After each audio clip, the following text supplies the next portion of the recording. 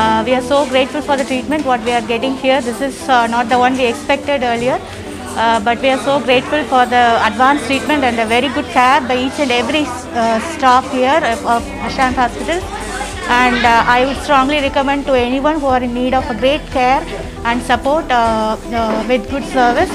And I wish every doctor who are taking care of the entire uh, health society a very, uh, very uh, good uh, uh, health and a great life.